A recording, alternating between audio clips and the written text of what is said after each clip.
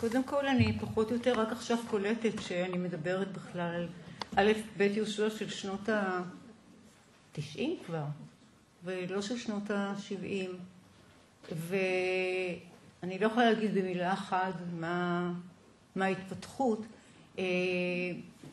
אני רק יכולה להגיד שגם אצל א' ב' יהושע וגם אצל שאר הסופרים שבחנתי בשנות ה-80, הנושא של הזהות הוא יותר מוגדר, אומרת, הן לא כל כך מתייחסות לריאליה, למציאות הפוליטית הישראלית באופן כל כך ישיר, אבל הן מציגות באופן נורא מובהק את הנושא של הזהות ולאו דווקא הזהות הישראלית והיהודית, גם הזהות האישית. אני רוצה גם להוסיף, בקשר למה שרון אמר, אני חושבת שימצא את מבוקשו דווקא בהרצאה שלי. זאת אומרת, שהיא גישה יותר של ניתוח ספרותי ופחות של היחס בין הספרות והמציאות. נקרא לזה ככה, זה לא בדיוק ככה.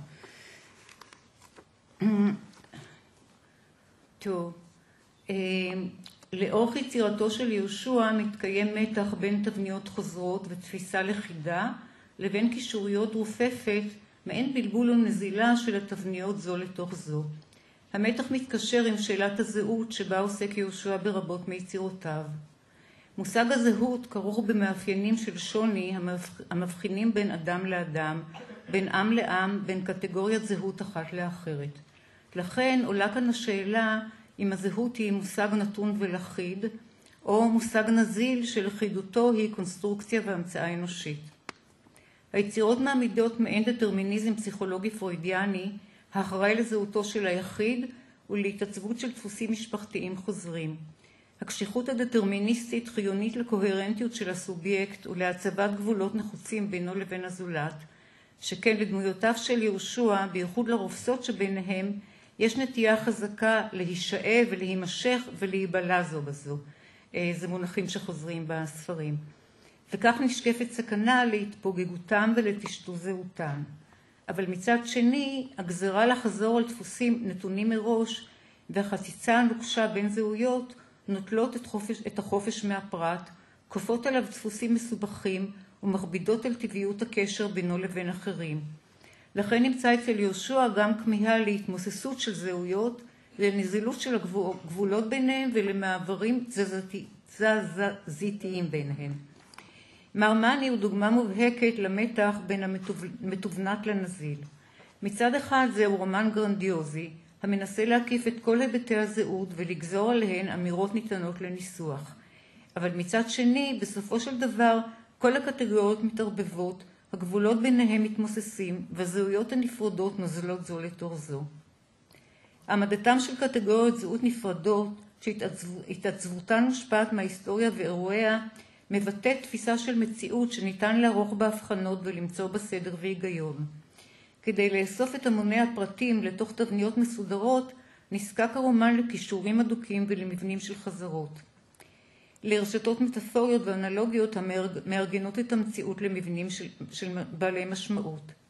אבל התבניות הכל כך קדושות והחיבור המהודק ואפילו הפרודי של כל הדמויות והמציאותיות והמציאויותיות מארגן את ההבחנות, מערער את ההבחנות בין הקטגוריות ומבטא תפוסה הפוכה, לפיה המושג הזהות הוא פיקציה, המצאה אנושית וספרותית, המושלכת על מציאות כאוטית ונעדרת סדר.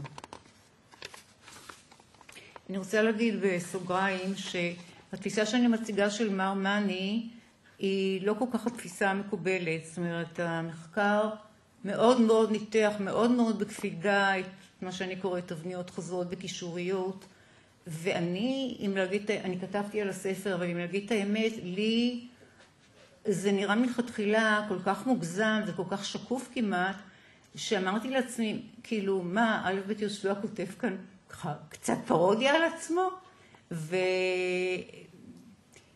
לא יודעת, זאת אומרת, נשמע, נשמע לא טוב, אבל בסוף חיברתי את שני הדברים בערך למה שאני אומרת עכשיו. זאת אומרת, יש כאן את הקישוריות שמבטאת באמת תפיסה אחת ואיזשהו רצון כאילו לערער, כאילו על ידי הפרודיה הזאת והגזמה, לערער את, ה, את, ה, את הלכידות הזאת שהוא בעצמו יוצר אותה. שהוא בעצמו יוצר את ההגזמה, לזה אני מתכוונת. ההרחבה של מישורי הריאליה במר מאני היא חסרת תקדים בכתיבתו. מסיפורה של דמות וקבוצת דמויות הוא עובר על הצגת תולדותיה של שושלת משפחתית במשך כ-200 שנה ומעמיד דגם פסיכולוגי משותף לבניה. מיקומן של הדמויות בצמתים החשובים של הזמן ההיסטורי והמרחב התרבותי מאפשר לבחון את מכלול ממדי הזהות היהודית-ישראלית בת זמננו. השושלת המשפחתית מוצבת על ידי ההליכה אחורה בזמן במטרה לחשוף ממד עומק כלשהו, מקור משותף שממנו התחיל הכל. הדמויות מוצבות בתוך צמתים היסטוריים ומרחביים טעונים, ובכל המישורים האלה הרומן מעמיד דפוסים חוזרים שמצביעים על כך שהמציאות נשלטת על ידי חוקיות ניתנת לניסוח. הדפוס החוזר נוצר על ידי הקו המרכזי ביותר ברומן, הכל מתקשר. בדיוק כמו הספקלריות בקליניקה של משה מאני, מוצגת כך תמונה שבה לכל דמות יש בן דמות, לכל מעשה בהווה יש צל בעבר, לכל ביטוי נפשי יש מימוש ריאלי. ריבוי החזרות והתגבולות נועד לבסס את הרושם שהמציאות נשלטת על ידי חוקיות ידועה, גזורה מנוסחה אחת שמתבטאת בפרטים הקטנים ובסכמות הגדולות. יסוד בולט בנוסחה הוא הנטייה הלא מודעת של הדמויות להציב דפוס אדיפלי של קשר אירוטי עם דמות אב, אחות או אחרים מבני המשפחה. אה, בני, אה, בני המאנים ודמויות המשוחחים, הרי זה בנוי כדיאלוגים, אבות ובנים, אה, סבתא ובן מאומץ, ממרחק של שנים, מקומות, לאומים ושפות, כולם חוזרים ומציבים דפוסים זהים. הדמויות כאילו אינן יכולות להיפטר מזהותם המשפחתית, בין שהן פונות לעורף ובין שאינן מודעות לה. הן חוזרות לרוב בלי יודעין על דפוסים שיצרו אבותיהם, או ממלאות אחר משאלות כמוסות של אחרים, או לקחות על עצמם את עול האשמה וחיפוש העונש שאינו שלהם. האופי החוזר והמוכלל כורך יחד את כל הדמויות בספר כאילו שוכפלו המענים והשתקפויותיהם מגיחות מכל עבר, בכל הזמנים, בכל המקומות, כאילו היו גרסות חזרות של האדם בהידיעה. ככה מציבים בני שושלת המאנים איזו נוסחה אוניברסלית ארכיטיפית של נפש האדם. אבל התפיסה הפרוידיאנית מוצבת בסימן שאלה כשהיא מוכלת באופן, מוכלת באופן כל כך דומה על תסביך הסבתא של אגון הגרמני ושל מאני השופט מישראל, על תסביך האב של הגר ושל יוסף מאני המרגל, ועל תסביכים רבים אחרים שחולקות דמויות זרות ורחוקות. במיוחד רואים את זה בפרק האחרון. הפרק האחרון נחשב ככה במחקר לפרק שבו הכל מתגלה, כי כאילו ההליכה הזאת לעבר והחקירה הזאת, שם היא מוצאת את הסוד, הסוד נמצא.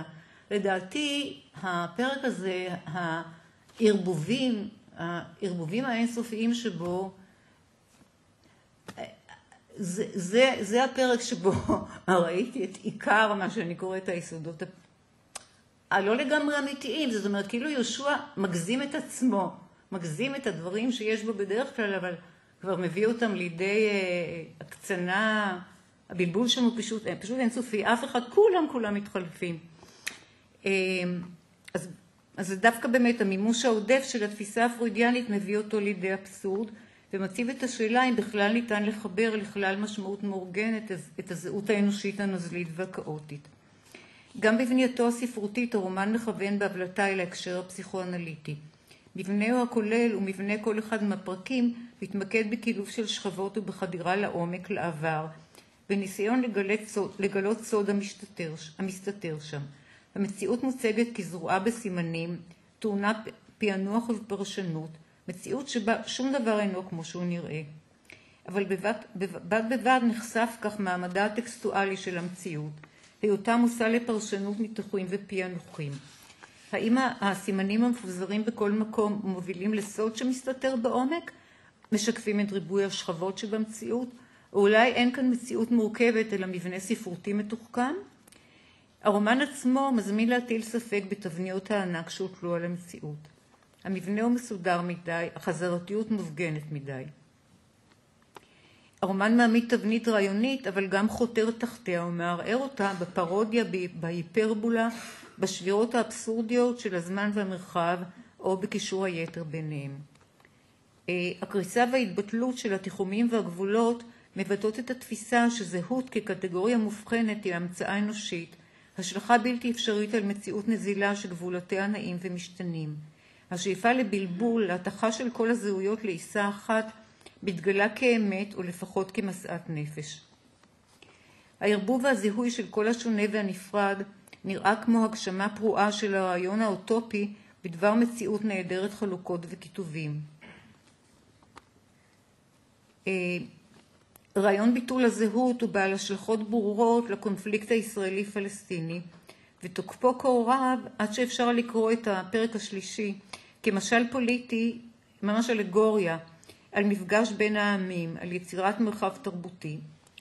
אם ייקחו הפלסטינים זהות, זה מה שחוזר שם, מציע להם זהות, קחו זהות. במונחים תאורטיים עכשוויים אפשר לומר שיהושע בן מרמני הוא נושא דברה של הישות הציונית המדינית, אבל גם מבטא משאלה לטשטוש גבולות היברידי בין הזהות הציונית לפלסטינית, בין הערבים, הנוצרים והיהודים. התוצאה היא שברומן המקיף ביותר שנכתב בימינו על בעיית הזהות של העם היהודי, הסדר העל החידתי לקיום מוצב כעוד אחת מהתבניות הלא ודאיות שהפרשן או הסופר מעניק באמצעותם מובן למציאות. בהשיבה מהודו יהושע פונה לדגם צנוע יותר. הוא משאיר בחוץ את הדפוסים האוניברסליים שבנפש ובהיסטוריה, וכותב לכאורה רק סיפור, רק רומן סיפורי וקריא. המתמקד במעגל האישי וביחסים בין דמויות במשפחה. העלילה הריאליסטית משתרעת בין בין בתי חולים להודו, בין חדרי מיטות לכלי תרבורה, והיא לא מבטיחה משהו גדול. אבל למרות ההרגשה שאין מה למצוא כאן, יהושע מצליח להפיק מהבנאלי אמירות רציניות על זהות מגדרית, זוגית, הורית ותרבותית. גם כאן שאלת הזהות מתקשרת עם המתח שבין הנזיל למתוונת, הפרט הקונקרטי לסכמה, אלא שבניגוד למר מאני, כאן המציאות הדינמית והתזזיתית גוברת על כל הכישורים והתבניות. המאפיינים החדשים של היחסים האנושיים מתבטאים יפה במטאפוריקה השאובה מהרומן עצמו. לא ההיגיון ולא חוקים פרוידיאנים, אלא השדה הסמנטי של הכימיה והפיזיקה, הוא ההולם את האופן שבו הדמויות מתחברות ונפרדות, נמשכות זו אחר זו כמו בכוח הכבידה, מועלות נגררות זו אחר זו וגוררות זהויות קודמות אל תוך יחסים חדשים. הזהות היא, היא כעין מסה חומרית שלעיתים היא עמידה דייה ונגררת אחרי הדמות לכל מרחב חדש, אבל לרוב היא לא מחזיקה מעמד ומתמוססת לחומר נוזלי נעדר גבולות. המשולש הראשי אה, לזר, אשתו ובנג'י מדגים זאת יפה. בנג'י מחליף שוב ושוב את מעמדו ביחס לזוג לזר. תחילה הוא משמש כחתן מיועד לביתם, אחר כך הם משמשים לו כהורים, אחר כך הוא מחליף את לזר בעבודתו כרופא, ולאחר מותו הוא חודר למשפחתו, תופס את כורסתו, לובש את חלוקו ונכנס למיטתו. הרוח החדשה ברומן מתבטאת במובהק ביסוד המיסטי השאוב מההודיות ולא מהאירופאיות. התאהבותו של בנג'י באישה מבוגרת היא מסתורין, והסימביוזה שלו עם לזר, שהוא גם אב אהוב וגם בעלה של אהובה, מגיעה לשיאה במושג של גלגול הנשמות, בכאילו אירוע של גלגול נשמות שקורה שם. המושגים האלה מבטאים את הוויתור על ניסיון להשליט סדר רציונלי במציאות ואת קבלתה כמות שהיא, כאוטית, נזילה ומתחמקת מגבולות. הזרימה הבין-זהותית באה לידי ביטוי בדרך הטבעית שבה משתלבים המוטיבים בתוך המציאות המסופרת. התחומים העיקריים שמהם שאובות התבניות הם ההיבטים המרכזיים של העלילה, עולמן המקצועי של הדמויות, המרחבים והתרבויות הרחוקות, ציר המסע והמעברים במרחב, וגם שימושים לשוניים יומיומיים. בית החולים ומקצועו של בנג'י כרופא ממש מזמינים מתנה מטאפורית. למרות הפרוזאיות והריאליזם לכאורה שלהם. כשהופכים את המושגים ניתוח, אבחון, חיטוט בקרביים, חיסון וזריקה מהמובן הפיזי-מילולי למובן המטאפורי המופשט, רואים שהם מבטאים את המגעים בין חוץ ופנים, אובייקט וסובייקט וגוף ונפש. ההסתכלות הישירה אל תוך קרביו של הגוף האנושי היא פעילות פולשנית, חדירה מטאפורית לפנימיותו של הזולת וה... דירת מנהל לפניותו של הזולת. ודרך אגב, אה, כאנקדוטה אני אספר לכם שיצאו רופאים מאיזה בית חולים וכתבו שהוא לא מדייק בפרטים על בית יהושע, שהוא לא מתאר את המציאות הרפואית בדיוק איך שהיא. כאילו, כאילו שזה באמת משהו ריאליסטי לגמרי, ריבוי מציאות, ולא תפסו אפילו שזה... אז נראה כמה שהרומן עשה רושם ריאליסטי לגמרי, לא... המרחבים הגיאוגרפיים והתרבותיים הרבים הם ממשות מלאה וגם מטאפורה מהלכת על שתיים. לא רק מטאפורת הענק של הודו, אלא כל המרחבים שבהם מתרחשת העלילה. תל אביב, ירושלים, המדבר, אנגליה, וכרגיל, כמו תמיד אצל יהושע יש לו דירות, חדרים ומיטות. אשר להודו לא מדובר רק בעימות המובן מאליו בין המזרח למערב, לא רק בהיבטים המובהקים של הודו כמקומם של המסתורים, הכאוס והמיסטיקה. מה שיפה הם הפרטים המינוריים, לכאורה פרטי מציאות לקישוט, הרלוונטיים כל כך לתמטיקה. למשל, הודו היא מקום של אנשים הנראים כמרחפים, של פעילויות שונות ומשונות בתוך מימי הגנגס, מקום של עיסה אחת מבולבלת, שזה ביטוי שמופיע גם אצל מרמני. במציאות המבולבלת הזאת חווים הגיבורים בעוצמה את אי התיחום שבזהותם, בזהותם, שכן זהו מקום של שיבוש וטירוף יוצרות, הליכה לאיבוד, היסחפות ובחישה. נהר הגנגס הוא מקום ריאלי וגם צומת לאשכול המטאפורי המרכזי של המים והזרימה. בהודו אנשים חיים בתוך הנהר, וברומן באופן מטאפורי להיות בתוך הנהר כמושג פירושו להיות בתוך הדבר עצמו, בממשות ובנפש. הודו בקצרה היא מימוש של מטאפורה, אבל מימוש שאינו מורגש כי הוא מוטמע באופן כל כך טבעי בפרטי המציאות. השיבה מהודו הוא גם רומן, רומן של מסע בין מרחבים ותרבויות. המעבר במרחב מארץ לארץ, מבית לבית, בין בתי מלון והמוני דירות ומיטות, מקנה לרומן קצב מיוחד, ומזרים את הדמויות בשרשרת של חילופי מקום ותפקיד. התנועה כדרך המובילה מפה לשם גם מאפיינת עמדות נפשיות של הדמויות. הן נושאות את דרכן בשלל כלי תחבורה, אלונקה, ריקשה, רכבת, מטוס, וכלי התחבורה האלה קשורים למידות שונות של שליטה, התמצאות והשתלבות. כי כלי התחבורה, אה, יש כאלה שמתיעים ויש כאלה שמהירים ויש כאלה כמו הריקשה שהיא נגיד של שניים, יש אה, אה, רכבת שזה של הרבה אנשים, של ביחד, זאת אומרת קשור לעניין של לבד וביחד. ולמשל האופנוע של בנג'י הוא מטונימיה לבעליו, הוא עובר מאופנוע של לבד, אופנוע זה כלי של בן אדם אחד, דרך המכונית, שזה כלי כבר של כמה, עם ההורים ואחר כך עם מיכאלה, ובחזרה לחיים של הולך רגל. הולך רגל כזה לא מיושף, שאפילו אין לו, אין לו מכונית או אופנוע.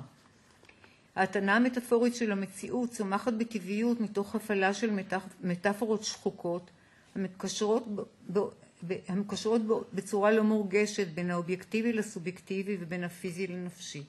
המראה כזאת היא קו ההיכר של היחסים בין המציאות למשמעות הרומן, והיא בולטת בשימוש שהוא עושה במרחב.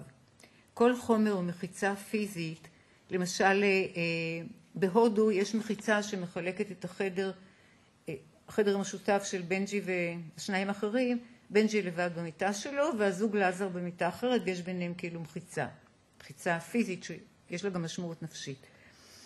אה, המחיצות מתהפכות למשמעות מופשטת של גבול.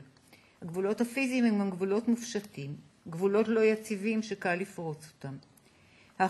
ההחייאה של מטאפורות שחוקות והחילופים בין משמעות ליטרלית ומטאפורית שאובים במידה רבה מהשימושים הלשוניים שלנו במונחים מתחום הגוף. אנחנו מגלים שכמעט אי אפשר לדבר על הגוף בלי להציל עליו משמעויות נפשיות. כך למשל, אה, כשמדובר על ניתוח הלב של לעזר, מחליפים לו את הדם בדם אחר, על הבטן הגלגלה וההריונית של אשתו, על הראש המוגן בקסדה של מיכאלה. ראש, בטן ולב אה, זה מונחים שיש להם משמעות מטאפורית רגשית. ולעשר ביטויים שמשמשים לרוב במשמעות מופשטת כמו להשתחרר, להיות צמוד, לינוק, להיבלע, לחצות קווים, מתגלה שמקורם הוא פיזי וקונקרטי. ואפילו המושגים הגדולים של הפיזיקה, המתארים את היווצרות היקום, כוח המשיכה, התפשטות והתכווצות, כבר נשמעים ברומן הזה כמו תיאור מטאפורי לנעשה בנפש. ניסיתי להראות שנזילות הכישורים והתבניות בהשיבה מהודו מייצגת קו אופייני אצל יהושע, ששיאו לדעתי זה במולכו. השכלול והאהבה לפרטים הריאליים והקונקרטיים, תוך שמירה על היסוד האמירתי המופשט, אבל בלי פגיעה בזרימה של החיים. הרעיון הפואטי הוא להחביא בתוך המהלכים היומיים ביותר של העולם המסופר אלמנטים המתקשרים לדפוסים התמטיים הגדולים, וכך להרוויח משמעות שלא על חשבון המציאות. סיימת.